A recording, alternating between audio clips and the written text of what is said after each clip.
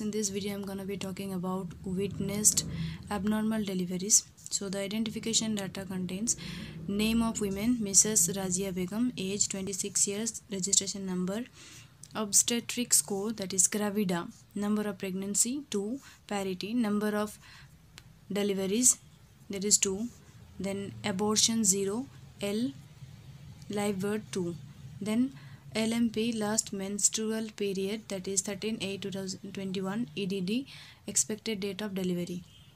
Pregnancy events under that preterm full term post term and MTP here it is post term full term is when delivery occurs between 37 weeks to 40 weeks of gestation. It is termed as full term when delivery occurs before 37 weeks gestation weeks of gestation it is termed as preterm. And when delivery occurs after 40 weeks of gestation it is termed as postterm Types of delivery LSCS lower segment cesarean section. History of puerperium here it is normal. Puerperium is reversed back to pre-pregnancy state. Baby condition after delivery good. Then pregnancy record. Here gestational age at first visit 4 weeks that is nearly about 1 month. Any significant medical condition anemia. Any significant laboratory report anemia means hemoglobin level will be less. So here it is 7 gram per dl history of pregnancy induced complication no.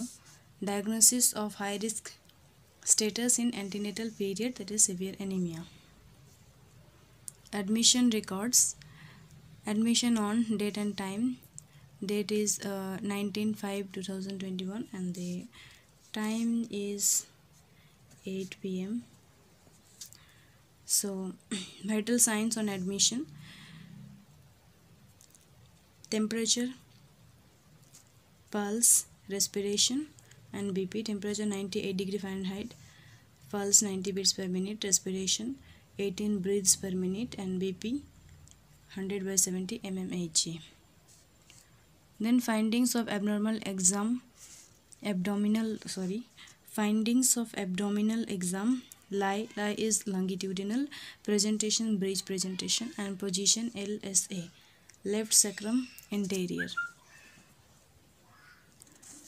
now here the presentation is breech presentation mode of delivery lscs condition of newborn lbw low birth weight and condition of mother after delivery good. Delivery notes LSCS lower segment cesarean section under spinal anesthesia. Time like duration of cesarean section that is 2 hours.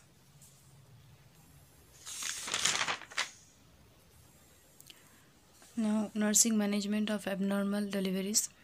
So subjective data is I am feeling patient conveyed that I am feeling breathing difficulty and having pain on my abdomen. So objective data dyspnea, activity intolerance, LSCS and SpO2 level was 86%. Nursing diagnosis fatigue related to decreased hemoglobin and diminished oxygen carrying capacity and acute pain related to LSCS. Nursing interventions are administered blood transfusion to increase hemoglobin level, maintain bed rest to restore energy, encouraged for deep breathing exercise. It is also a technique of restoring energy. Then administered oxygen therapy as here SpO2 level is less 86% then monitored vital signs at regular interval and administered medication as prescribed by physicians.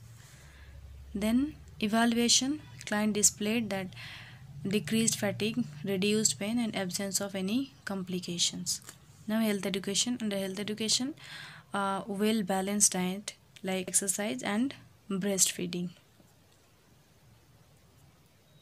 Thanks for watching